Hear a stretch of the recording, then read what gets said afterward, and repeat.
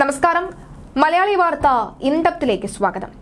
P P ദിവ്യയുടെ മുൻകൂർ ജാമ്യാപേക്ഷ തലശ്ശേരി കോടതി തള്ളുമ്പോൾ അംഗീകരിക്കാതെ പോകുന്നത് പ്രഗത്ഭനായ അഭിഭാഷകൻ കെ വിശ്വന്റെ വാദങ്ങളാണ്. സി പി എമ്മുമായി ഏറെ അടുപ്പമുള്ള അഡ്വക്കേറ്റ് മുഖ്യമന്ത്രിയുടെ പൊളിറ്റിക്കൽ സെക്രട്ടറി പി ശശിയുടെ ഗുരു എന്നൊക്കെയാണ് ഇദ്ദേഹത്തെ അറിയുന്നത്.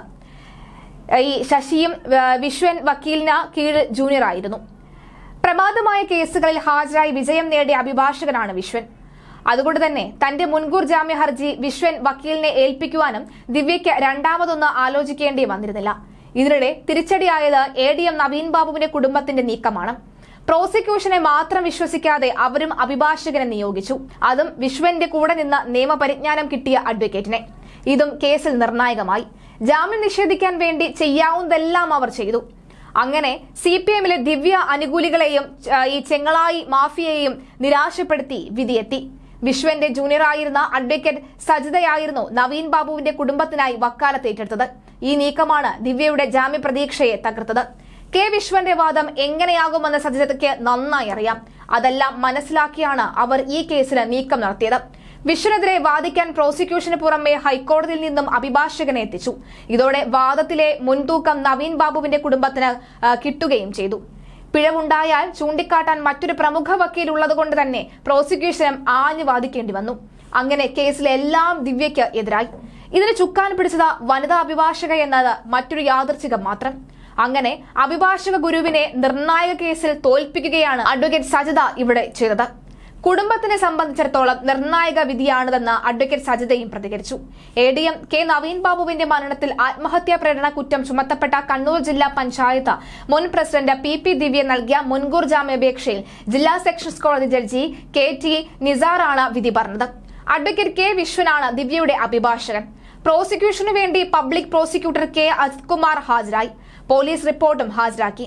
ജാമ്യാപേക്ഷയെ എതിർത്ത് കക്ഷി ചേർന്ന നവീൻ ബാബുവിന്റെ ഭാര്യ മഞ്ജുഷയ്ക്ക് വേണ്ടി അഡ്വക്കേറ്റ് ജോൾ എസ് റാഫൽ വാദമുയർത്തി. മഞ്ജുഷയ്ക്ക് വേണ്ടി അഡ്വക്കേറ്റ് സജിതയാണ് വക്കാലത്ത് നൽകിയത്. പതിനെട്ടിനാണ് ദിവ്യയ്ക്ക് വേണ്ടി മുൻകൂർ ജാമ്യാപേക്ഷ നൽകിയത്.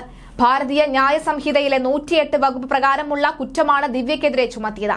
മുൻകൂർ ജാമ്യത്തിന് നൽകിയപ്പോൾ തന്നെ കേസിൽ കക്ഷി ചേരാൻ കുടുംബം തീരുമാനിച്ചു. കണ്ണൂരിലെ പലരുമായി സംസാരിച്ചാണ് സജിതയെ വക്കാലത്ത് ഏൽപ്പിച്ചത്. വക്കാലത്ത് ഏറ്റെടുത്ത സജിതയുടെ നിർദ്ദേശപ്രകാരമാണ് തന്ത്രപരമായി എറണാകുളത്ത് നിന്നും അഡ്വക്കേറ്റിനെ എത്തിച്ചത്. ഇത് പ്രതിഭാഗത്തിന് തീർത്തും അപ്രതീക്ഷിതമായിരുന്നു. വാദസമയത്ത് വിശ്വൻ ഒന്നര മണിക്കൂറാണ് സംസാരിച്ചത്. അതിനുശേഷം വാദിക്കാൻ ആവശ്യപ്പെട്ടത് നവീൻ ബാബുവിന്റെ കുടുംബ അഭിഭാഷകനോടായിരുന്നു. എന്നാൽ പ്രോസിക്യൂഷൻ പറഞ്ഞ ശേഷം പറയാമെന്നവർ മറുപടി നൽകി. ഇതോടെ തനിക്ക് പിഴവുണ്ടായാൽ അത് ചൂണ്ടിക്കാട്ടാൻ ശക്തനായ മറ്റൊരു അഭിഭാഷകൻ ഉണ്ട് എന്ന് പ്രോസിക്യൂട്ടറും തിരിച്ചറിഞ്ഞു. വാദത്തിനിടെ പോയിന്റുകളുമായി വിശ്വനും എത്തി. ഇത് കോടതി അനുവദിച്ചില്ല. ഇത് കോടതി അനുവദിച്ചില്ല. അപ്പോൾ തന്നെ ജാമ്യ ഹർജിയിൽ ദിവ്യയ്ക്ക് തിരിച്ചടിയായും ഉണ്ടായി എന്ന വിലയിരുത്തലെത്തി.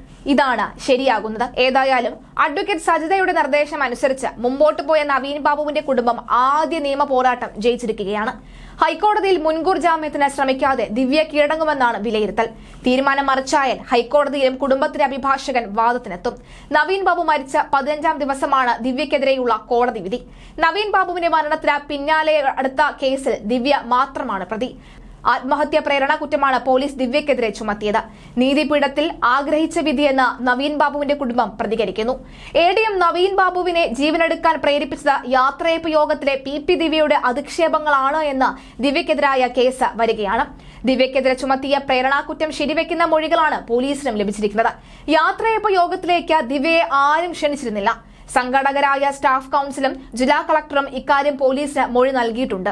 ആസൂത്രിതമായി എ ഡി എമ്മിനെ അപമാനിക്കാൻ ഉന്നമിട്ടാണ് ജില്ലാ പഞ്ചായത്ത് അധ്യക്ഷൻ കൂടിയായിരുന്ന ദിവ്യ ആ അധികാരം ഉപയോഗിച്ച് എത്തിയത് എന്നാണ് പോലീസ് കണ്ടെത്തൽ. എ ഡി എമ്മിനെ സമ്മർദ്ദത്തിലാക്കുന്ന പ്രയോഗങ്ങളാണ് ഭീഷണിയുടെ സ്വരത്തിൽ ദിവ്യ പറഞ്ഞുവെച്ചത് കളക്ടറേറ്റിലെ യോഗത്തിൽ ദിവ്യ എ ഡി എമ്മിനെതിരെ ആരോപണം ഉന്നയിക്കാൻ ലക്ഷ്യമിട്ടെത്തിയെന്നാണ് ആരും കരുതിയില്ല. അതുവരെ പ്രസന്നമായിരുന്ന സദസ്സ് ദിവ്യയുടെ പ്രസംഗത്തിന് ശേഷം മൂകമായി എന്നായിരുന്നു സ്റ്റാഫിന്റെ മൊഴി. ദിവ്യയുടെ ഭീഷണിയും പ്രകോപനം നിറഞ്ഞ പ്രവർത്തികളാണ് മരണത്തിലേക്ക് എ ഡി എമ്മിനെ നയിച്ചത് എന്നാണ് കണ്ടെത്തൽ.